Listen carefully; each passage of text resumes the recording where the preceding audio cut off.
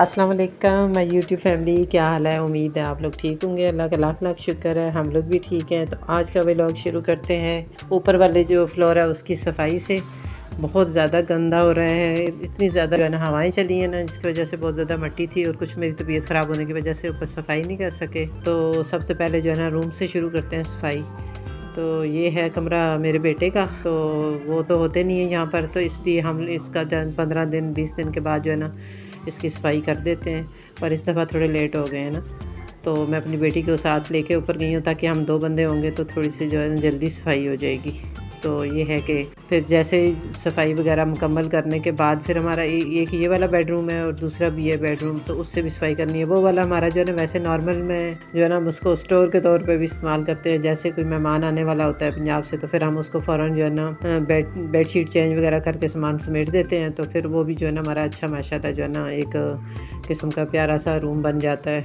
और जब मेहमान ज़्यादा हूँ तो मुझे कोई परेशानी नहीं होती। मुझे पता होता है कि मेरा ऊपर वाला पोर्शन जो है ना बिल्कुल साफ़ सुथरा रेडी है। तो यहाँ से जब झाड़ू वगैरह लगा रहे थे तो ऐसे लग रहा था पता नहीं कितने साल हो गए ना कि यहाँ से सफ़ाई नहीं की। बहुत ज़्यादा मट्टी थी, बहुत ही ज़्यादा। पर एक चले, कहते हैं ना कि जब इंसान ज़िंदा होता है तो फिर तो घर आबाद रहते हैं। अल्लाह ताला सबको जो है ना अपने जुमान में रखे।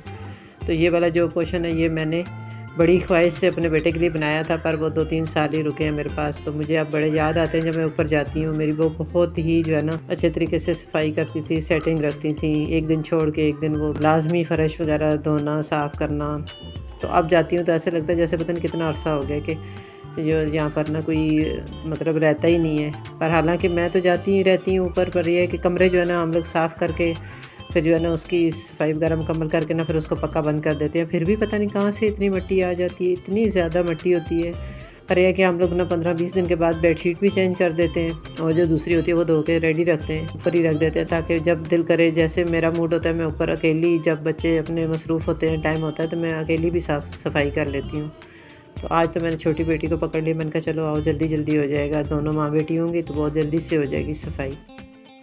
तो ये है मेरी बेटी का बेड कमरा भी माशाल्लाह काफ़ी बड़ा है तो ये देखें कितनी मट्टी है। टाइलें नज़र ही नहीं आ रही, बहुत ज़्यादा मट्टी थी। तोबा तोबा तोबा। अच्छा मैंने ना ये जो सफ़ाई नहीं की, इसके पीछे भी एक मसला ये था कि बारिश का इंतज़ार करते रहे पर कराची में इस दफ़ा बारिशें हुई नहीं। बहुत ही कम बारिशें हुई हैं। तो बस फिर मैंने कहा यहाँ से थोड़ा सा जो ये दरवाज़ों के आगे है ना, इसको लेते हैं मतलब पानी डालते हैं ऐसे ही बाल्टी वगैरह से, फिर बाद में ना पाइप लगा लेंगे। क्योंकि ना यहाँ से अगर पाइप लगाती हूँ ना तो फिर वो जो पानी जमा होता है ना, पाइप के पीछे जो जमा हो जाता है, वो सारा ना फिर कमरों के अंदर आना शुरू हो जाता है। माशाल्लाह पाकिस्तानी जो मिस्त्री हैं, अल्लाह ताला इनको हदायत दे, पता नहीं कहाँ से इन्होंने कुछ सीखा होता है। सारा ही काम जो है ना, बहुत ही वो उल्टा करते हैं। अभी कमरों को भी अगर फ़र्श देखें तो उसकी भी ना सारी पीछे की तरफ़ जो है ना डलान चली जाती है। पर वो उससे पोचे से कवर करना पड़ता है। या सामान ना हो तो चलो फिर बंदा निकाल लेता है पानी। तो यहाँ से फिर हमने शुरू किया। ये मैंने बड़ी ख्वाहिश से अपना टेरेस बनवाया था। वाइट कलर की कुर्सियाँ ली थी। तो बस ये कराची में ना मौसम ऐसा ही होता है। एक तो लोहे की चीज़ आप कोई बाहर रख नहीं सकते। गाड़ी वगैरह अगर लेके आप खड़ी करो तो उसको भी जंग लग जाता है। ग्रिलों को इतना जल्दी जंग लगता है।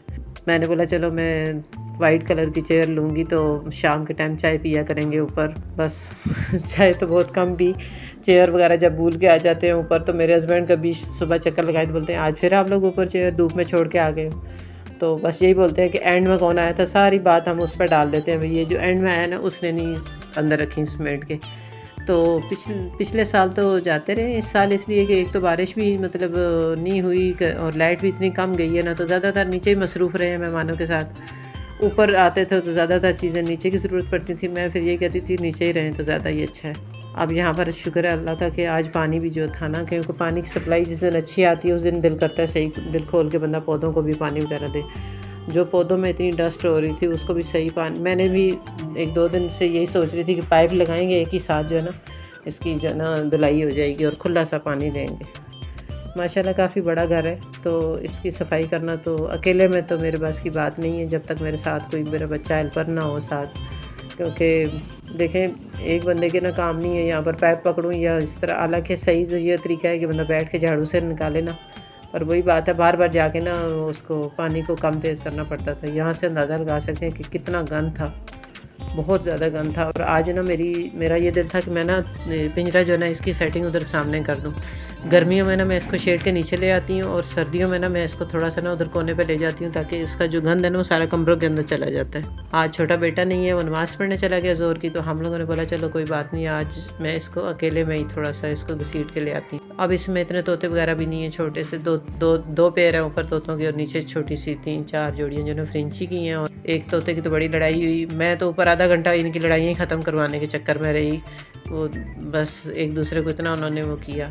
इतने में ना फिर मैंने एक ना फटे मतलब मेरी दोस्त बेच रही थी। मैंने बोला, मैंने कहा, ये फटा तो मुझे चाहिए था। तो कह रही, आप ना सिर्फ़ जो लेके गए ना, उनको पाँच रुपये दे दें और तो ये फटा आप अपने घर मंगवा लें। अब ये देने तो आए हैं, पर ये इनके गले पड़ गया है, क्योंकि फटा तकरीबन कोई चार बाई दस का था या पाँच बाई दस का है। तो इतनी मुश्किल से ये सेकंड थर्ड फ्लोर पे गया ये। उन्होंने सोचा था कि जिस वाले पोशन में बाजी रहती है ना, उस वाले में रखना है। पर ये है कि चलो, अच्छी बात है, पाँच सौ रुपये में मुझे महँगा नहीं पड़ा। बाकी है कि उसको, उसके साथ अलग सा हिसाब किताब करेंगे जिसने सेल की है। तो ये फिर मैंने इधर साइड पर रख दिया। ये बहुत अच्छी मतलब इसकी मतलब एक सेटिंग होगी जाता है बंदा थोड़ी देर शाम के टाइम ऊपर रिलैक्स होता है। तो अक्सर इस फटे को देख के तो तकिया याद आता है कि मिल जाए और लेट जाए। क्योंकि नीचे से हमेशा थक के ही बंदा ऊपर जाता है। तो ये है। फाइनल मेरे जो ना, इसकी ऊपर वाले पोर्शन की सेटिंग और साफ़ सुथरा घर इतना प्यारा लगता था, नीचे दिल ही नहीं लग रहा था, दिल कर रहा था तो ऊपर ही चलूँ बार बार अपने पौधों को देखूँ, पानी वानी दूँ इनको। फिर वो जो आए ना हमारे घर, ये थोड़ा बहुत काम भी जानते हैं ना, ये हमारे मोहल्ले के बहुत मशहूर है सूफ़ी भाई। तो इनके पास कोई चीज़, अगर कोई हो तो वो भी हम ले लेते हैं। हमसे, हमने कुछ सेल करनी हो तो हम इनको बताते हैं तो वो भी ले जाते हैं। तो ये शीशा लगाना था एक।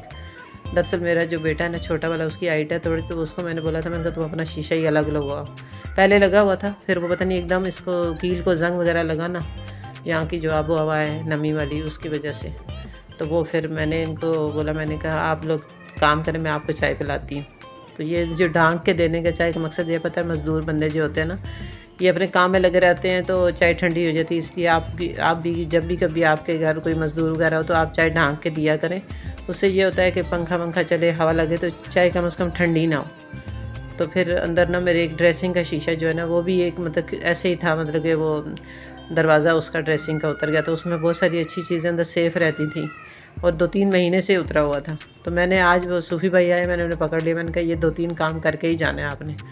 तो शुक्र अलहमदिल्ला, सारा काम हो गया और अच्छा हो गया। बस वो यही कह रहे थे, कह रहे हैं कि ये जो है ना, इसकी ये चीज़ बेकार है, इसकी ये चीज़ बेकार है मैं इनका इस्तेमाल करो तो फिर, और दूसरी बात है, ये बना बनाया मैंने लिया था, किसी से मैंने बनवाया नहीं था तो रेडीमेड चीज़ें ऐसी ही होती हैं। सिर्फ़ देखो तो बस, दिल को अच्छी लगती हैं, पर शुक्र अलहमदिल्ला, फिर दोबारा अपनी असली हालत में आ गया तो बड़ी खुशी हुई। बस जब काम बिगड़ जाता है तो उसको संवारना भी पड़ता है। तो उम्मीद है आज का व्लॉग आप लोगों को अच्छा लगेगा। अगर अच्छा लगे तो लाइक शेयर और सब्सक्राइब करना मत भूलिएगा और मेरी वीडियो पूरी वॉच करिएगा। मेरी तरफ़ से अल्लाह हाफिज़।